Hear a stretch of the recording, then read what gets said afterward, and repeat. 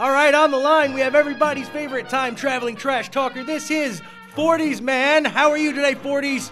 Say, you dime store Santas. How are you? I'm just swell. Of course, I see that you dragged my sorry cactus back on the wireless once again in order to give you the what for in the talking pictures. I should be down at the Sal ringing the bell for Zuzu pedals, don't you know? I don't get a blood nickel for this racket.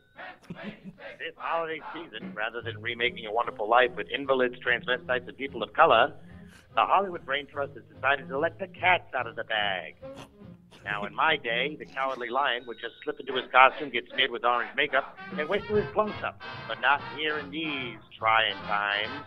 Nope, the modern-day Cecil B. DeMille are using a gimmick they call CGI.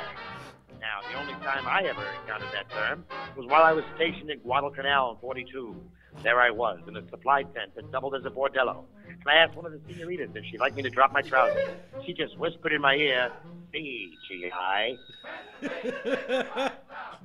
so, long story short, is that CGI makes you see things that aren't there. Where, where, where I come from, seeing things that aren't there got you tossed in the rubber room quicker than the oldest Kennedy sister after one too many Helen Keller impressions. the only cats I want to see on the silver screen are named Sylvester, Tom, and Felix. These here cats are about as welcome as an SPCA in Chinatown. oh, no. Word to the wise from my pal Hop Stink. Stay away from the meow shoe pork. Another flick that's getting attention for all the wrong reasons is The Irishman, starring Bobby De Niro and three other corpses. Why, they layered so much of that CGI malarkey on Al Pacino's mug that Jimmy Hoffa himself came out of hiding just to give Marty Scorsese a Dutch oven. Joe Pesci was so unrecognizable at times that Yoda tried to sue for defamation of character.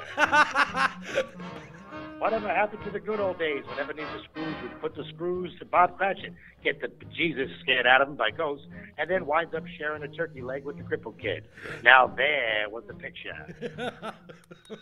I'm 40s man, boys, and I got a scram. Thank you so much, 40s Man.